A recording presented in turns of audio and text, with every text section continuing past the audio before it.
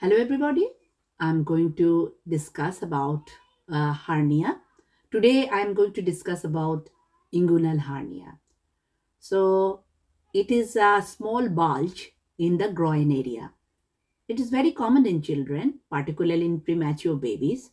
In children, this occurs when there is a small opening in the muscle wall in the groin, which allows intestine uh, to bulge out, causing a lump in the groin. The hernia may increase in size as uh, your baby strains or cries.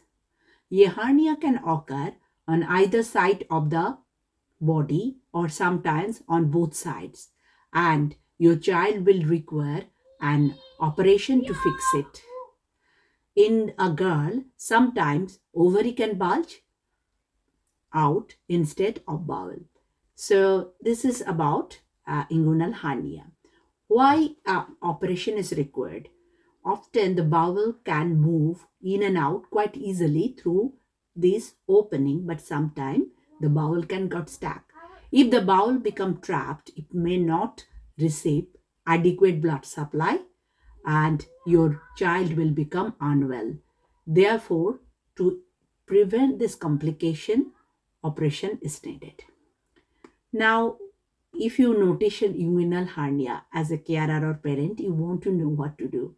If you noticed a lump in your child's groin, you need to seek medical assistance. If your child is happy, feeding well, um, pooing normally, and lump does not appear to be painful, make an appointment with your GP and they will refer to see a pediatric surgeon. However, if that is very painful, discolored, and your child's abdomen is big and swollen, and they are vomiting and unwell, you should attend emergency department urgently. Now, as a parent and carer, you need to know what are the signs you will be looking when you need to do something urgently for your child or whether you can go um, you know to the GP, not that urgent. So I'm telling you about the red flags when you need to go.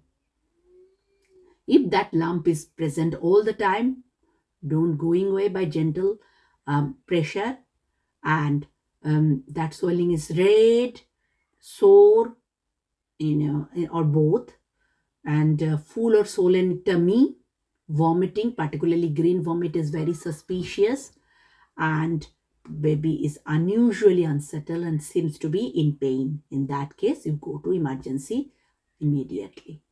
Now, if those uh, signs are not there, but still it can be worrying, you have to discuss with your GP or um, men's general practitioner, health visitor urgently.